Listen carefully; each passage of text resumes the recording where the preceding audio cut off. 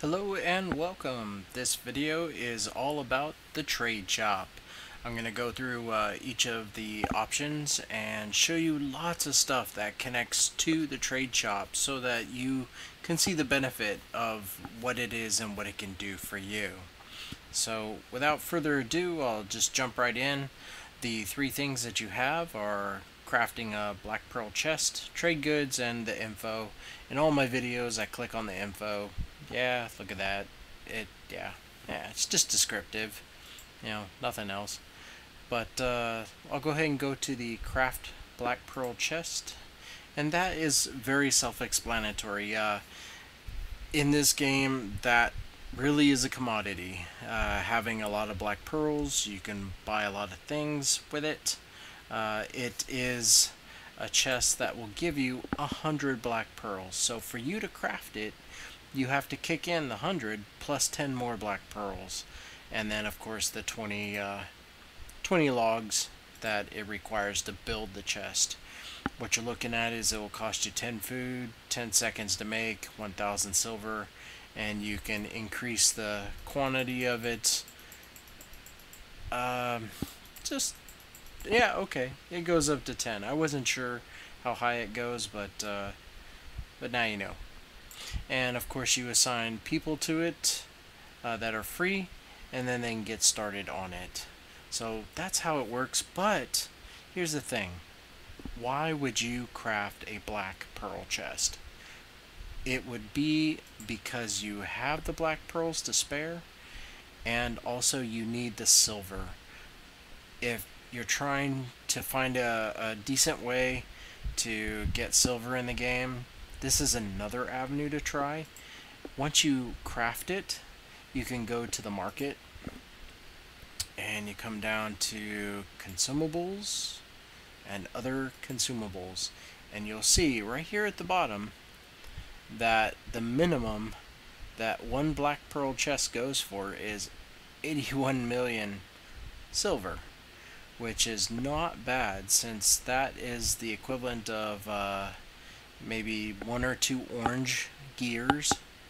Uh, you know, the first level of the orange gear, but definitely uh, very nice. A nice chunk of silver to get too. So this is another reason why you would craft a black pearl chest.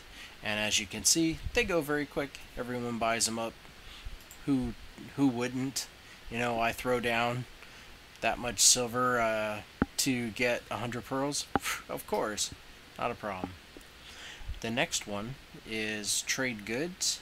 So there's a lot to explain on this, but the window you're looking at is uh, an object, the resources it takes, the time, the food, and the silver it takes to craft. When you click craft, it's going to ask you who are you going to assign to craft it and how long it will take. So that's how this works. The different things on the right here are delivery goods, resources, supplies, furniture, and products. So I wanted to go into this part right here, like the delivery goods. Let me get out of this and let me show you something. So if we get out of our camp, now this, the reason why you would do this is to probably uh, make some silver or increase, uh, you know, your reputation with one of the uh, shopkeeps. But in the top left corner here, where it says Nel Capu and his icon, that one or the next one below it, Cali, with the gift symbol. We're going to go visit those two. Just call my horse over here.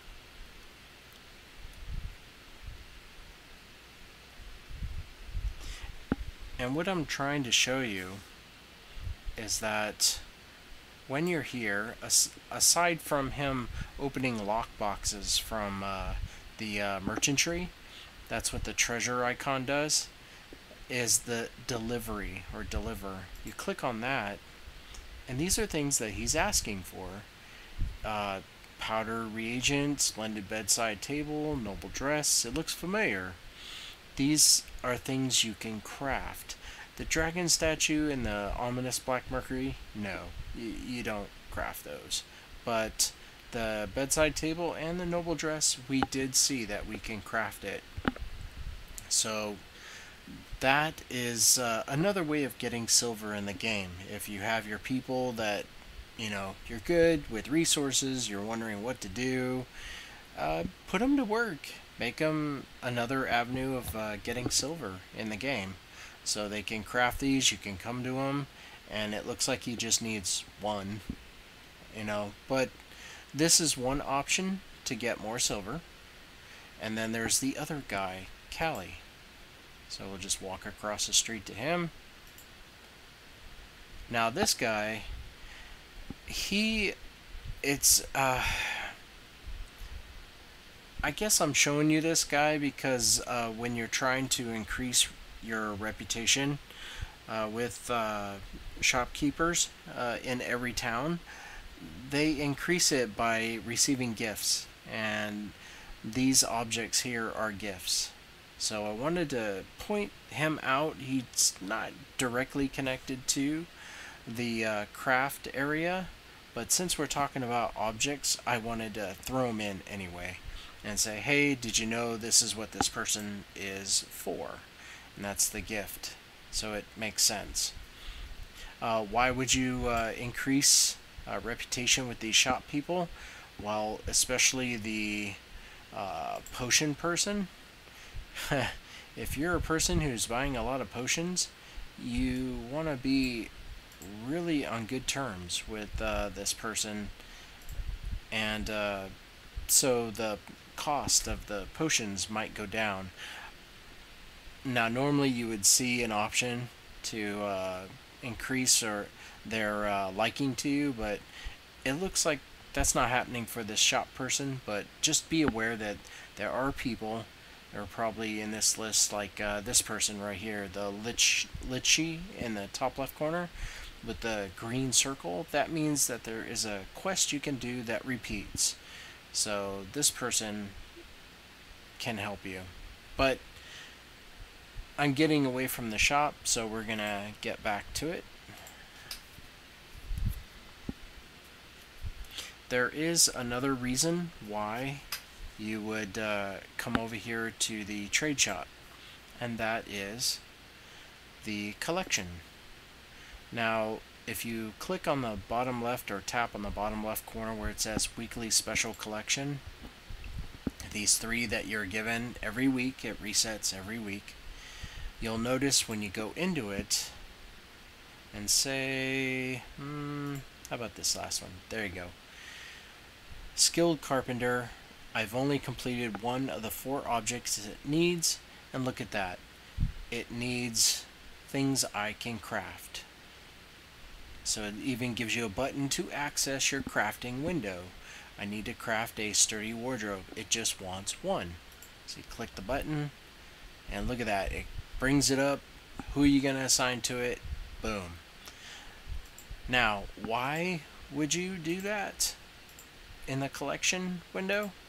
Well, because if you complete all of this and you craft all these objects in the above uh, where the it says third collection, you're going to receive 250 restoration scrolls.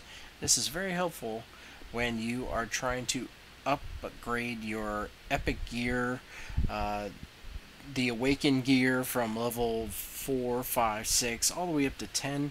You're going to need restoration scrolls by the truckloads. So they're trying to help you out by saying, here, do these simple things, craft these things, we'll throw you 250 to add to your pile. So this is another reason why you would want to do uh, crafting. Now, when you can, uh, if it's if it makes sense, maybe one person to craft while the rest are getting resources and part of your merchantry. It's dividing up all the people you have uh, so that it just makes sense. So that is how the trade goods window works. We saw the delivery goods, even the powdered re excuse me, the powder reagent that the uh, guy was looking for. and everything else. Just resources, supplies, all of this connects to the collections window and what they're looking for. Also, if you dive deep into the game, when you're doing merchantry and you see that there are certain merchants that are looking for specific things, you can come back to your craft trade goods window and maybe plan on it. You you can, all right. I'm gonna make a hundred of this. Uh, it sells well in the next city, so go drop it in my wagon, go into merchantry, and uh, go sell it for a good amount of profit. That is a lot of detailing that you would have to sit down and write out and figure out if it's worth it in silver. Um, many of us probably don't go that far, but it's another part of the game for you to explore if you wanted to. And that's it. That's how the trade shop works. I hope you enjoyed the video and it shed some light on uh, why you would work with this. So to that I say, have a wonderful day and we'll talk to you later. Bye now.